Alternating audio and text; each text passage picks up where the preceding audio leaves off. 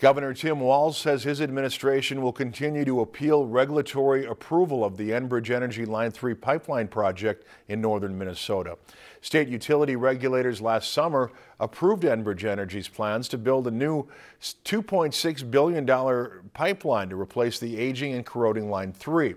But former Governor Mark Dayton's Department of Commerce appealed that decision. Walz on Tuesday said his administration will continue that effort siding with environmental and tribal groups in his biggest decision since becoming governor last month.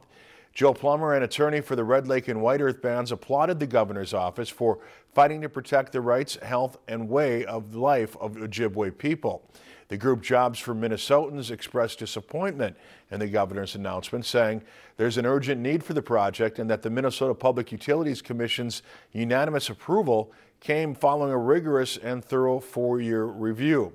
Enbridge said the move was unfortunate, but planned to work with the Walz administration and state agencies to set a schedule for obtaining permits for the project. If you enjoyed this segment of Lakeland News, please consider making a tax-deductible contribution to Lakeland PBS.